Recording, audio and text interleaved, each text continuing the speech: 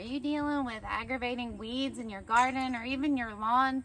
Is your back breaking because you keep having to bend over and try to get them up? And it's just painful and annoying to constantly be bending over, being on your knees, hurting yourself, trying to clean up your yard or garden. Well, this is a good fix for that. This is a 40 inch high weed puller. It is simple and easy to use and not only comes with this, but comes with an extra 14 inch weed puller and a set of hand gloves so you can keep your hands protected when you are pulling up weeds. Using the weed puller is very simple and the gloves fit well and could even fit a man's if needed.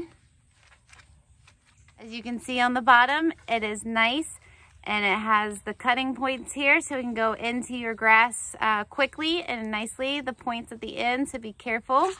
This is all made of carbon steel and even the part where you put your foot to push it into the ground is steel, unlike other weed pullers that are plastic and break easily. Here the handle has these nice pads to keep your hands protected and this will be pushed down to go ahead and pop the weeds out. So you don't even have to work to get the weeds out of your weed puller. You can just push and they'll come right off. So here, let's go ahead and pull up a weed. and center yourself over the weed and put the weed right in the middle of your two prongs.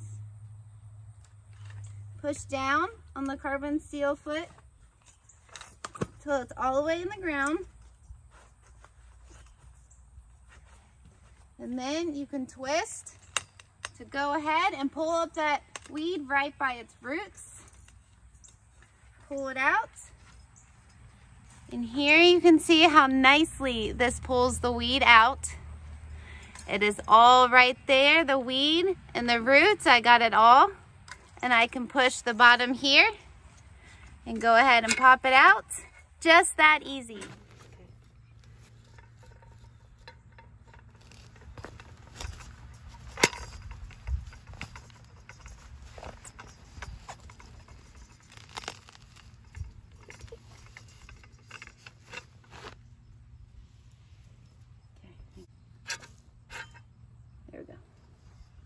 So if you are looking for something that will make your weed pulling easier, your garden work easier, this is a tool to help you. It is great for men, women, elderly, young, anybody that just is tired of bending over, breaking their backs, trying to clean up their yard.